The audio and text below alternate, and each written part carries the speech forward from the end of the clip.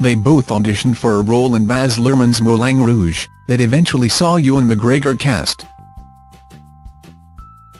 And in an interview with GQ, published in Thursday's The Daily Telegraph, Jake Gyllenhaal opened up on his friendship with the late Heath Ledger. The 37-year-old recalled a conversation where the actor turned down the lead in Baz's Australia, out of respect, he said. I just wanted you to know, I.F. King turned it down. So that was how much Heath loved me. Jake told GQ Australia, Heath called me and was like, hey mate, I got some news for you. I said, what? He said, Baz just offered me his next movie. I just wanted you to know, I.F. King turned it down. So that was how much Heath loved me, you know.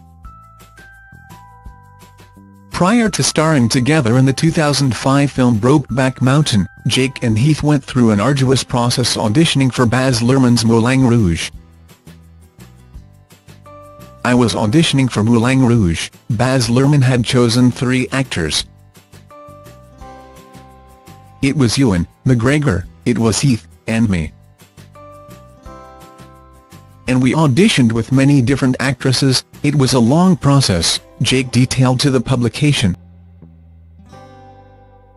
The Hollywood A-lister added, they would literally put me in a room and lock the door and Heath would come in and then Heath would be shuffled through the door.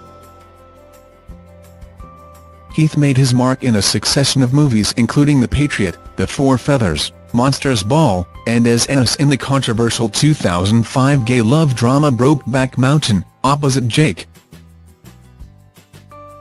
His streak was tragically cut short in January 2008, when he was found unconscious in his New York apartment.